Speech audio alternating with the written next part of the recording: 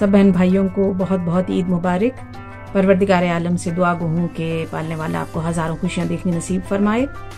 और आज के दिन अपने गरीब बहन भाइयों को और खसूस फ़लस्तीन के आवाम को भी याद रखिएगा। वक्त पे फ़ितर निकालिए और अपने वाजिबात की अदायगी भी याद रखिए। यह ना हो कि माह रमज़ान ख़त्म हो गया और आप लोग अपनी इबादत को पसे पुश रख दें। और वक्त पे वाजिबात अदा कीजिए। और पर्दे का बहने ख्याल रखें, ये ना हो कि ईद का दिन है और बालों की सजावट में और तैयारी में आप लोग ना महरम का और महरम का ख्याल ना रखें। और अल्लाह ताला आपकी इबादत को कबूल करे और ईद का दिन आपके लिए पुरमसरत बनाए रखें। असल वरहमल